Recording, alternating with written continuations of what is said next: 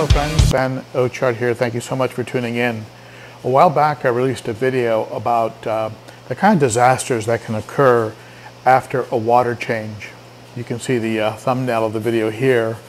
And uh, in that video I talked about how sometimes you can get a sudden death or a uh, uh, fish acting erratically and clamping their fins, being inactive, and uh, in some cases just flat out dying on you after a water change.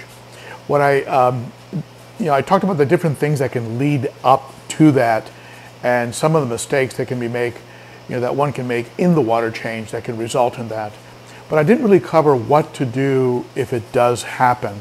One of you asked a question, you, you commented under that video and mentioned that uh, you had had that occur to you and now what do I do, right? I've lost a fish, the other fish are acting um, odd, uh, you know, what, what steps can I take? So in this video, what I want to talk with you about is what you can do in the event that you notice erratic behavior, something unusual after a water change. Let's go ahead and get into it.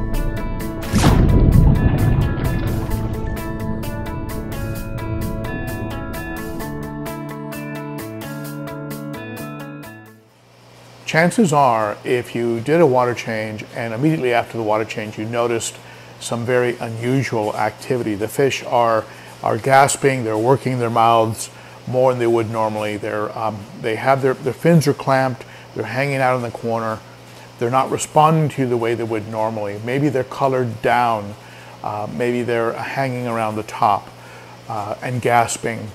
Th these, these are all very, very bad signs. Now, flashing, uh, you know, rubbing themselves against a rock or the substrate, let's say, or um, uh, going into breeding uh, type of coloration, right, where they fire up or uh, and start maybe doing a breeding dance with other fish, things like that. That that's actually a bit normal after a water change, right? They get kind of fired up, that kind of thing. So that's not something to worry about. The kind of signs I'm I'm talking about are the fish um, really starts to act unusual and in a negative way. Uh, hanging out the bottom, hanging out in the corner, um, hiding, and, uh, and really just different from how they would normally act. And then certainly when you go to feed them after that water change, they're not interested in food where normally they would be very voracious. You have a problem, there's a problem, and it needs action. And so um, under those circumstances, you can be pretty sure that something was wrong. Either you shock them with a big change in pH, which is more likely in a smaller aquarium uh, with a large water change. So say a 29 gallon, you do a 90%, 80% water change, and the pH is very different. You haven't done a water change in a long time, you have aragonite, you've been slowly rising the pH, it's very different from your tap water. You're gonna shock those fish. Let's say uh, you forgot to match the temperature of your faucet, uh, you know, you went, you went right from faucet to tank, you didn't match the temperature, or you outright forgot to condition the water. Uh, in, in any of those cases, you can actually have a, a bit of a shock. Maybe uh, you had the worst case scenario, you didn't condition the water, and uh, your local water uh, processing uh, facility, right, your water plant was using an extra amount of chlorine or chloramine because of storms or runoff or something. And uh, so you've just hit your fish with a ton of, of chlorine or chloramine, which contains ammonia, and this has put them into a severe situation. So, no time to guess, no time to think. Um, I, if I saw that kind of behavior after a water change, I wouldn't even test the water, to tell you the truth. You can if you want, but what I would do immediately is hit the tank with a uh, bigger dose, maybe even a double dose of conditioner, uh, whether it's Prime, uh, Seachem Prime, or uh, Fritz Complete, or whatever it is that you're using, right? Seachem Safe. I would, I would give it a good dose of that, and uh, maybe even consider uh, another water change. And um, you know, depending on after hitting it with conditioner, waiting an hour, and then doing a test and see what I got.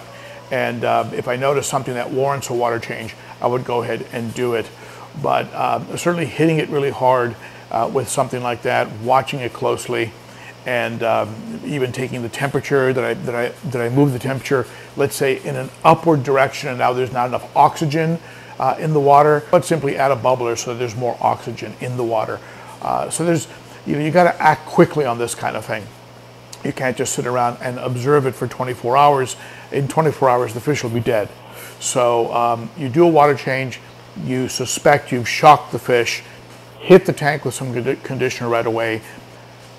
If you have it, uh, grab some media from an established tank, maybe grab some uh, beneficial bacteria in a bottle like Fritz-Zyme 7 or maybe even a Seachem Stability. Hit the tank with some of that. And uh, because you may have done a bacteria kill off for some reason, you might have killed off some bacteria and now the ammonia that your fish are producing is not being uh, converted into nitrite and then ultimately into the less harmless nitrate. And so again, you need to move quickly, condition the tank, add bacteria, and me personally, I would hit the tank with conditioner probably several days in a row, and I would hit it with a good dose of uh, beneficial bacteria or add some media from an established tank. And then, after I've taken those steps, I would go ahead and uh, perhaps do some, some uh, you know, do some testing and see where I'm at. And uh, because I'll tell you, uh, you know, you know, you probably, you probably have an ammonia spike of some kind. You probably shocked them with a change in pH or a change in temperature. Now, all of that being said, depending on the hardiness of your fish, you might still lose your fish. And so what I'm giving you here are anecdotal uh, suggestions that may or may not work for you. Just realize that uh, depending on the level of shock and the sensitivity of your particular fish and the kind of shape they were in before the water change, you might lose those fish anyway. Or on the other side of the coin, if they're very hardy and were very, very healthy before the mistake, they may actually weather it fine and come out of it on the other end. But in conclusion, in closing, if you see bad signs, not flashing and, and breeding behavior. Those are good signs, right? Bad signs. Gasping, hanging out the bottom, hanging out the top for air, working their mouths too much, clamped fins, hiding, not reacting to feeding, not being interested in food, things of this nature. Take action quickly, right? Hit the tank with some good conditioner, maybe check out the temperature, see what's going on. Something happened mismatched temperature, you shocked it with pH, things of this nature. If you haven't done a water change for a long time,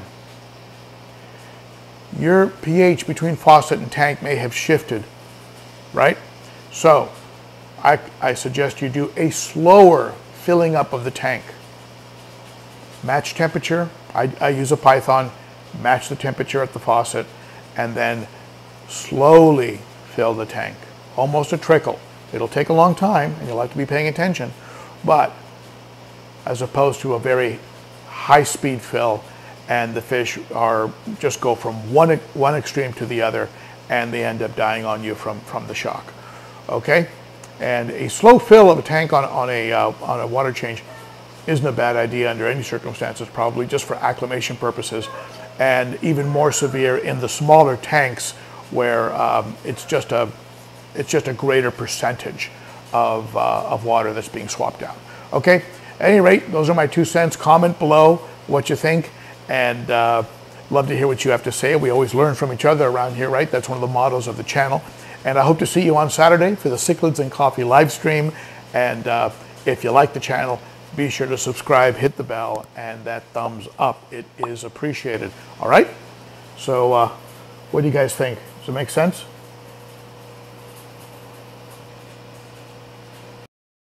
They agree, and that's what counts. Talk to you later. Bye bye.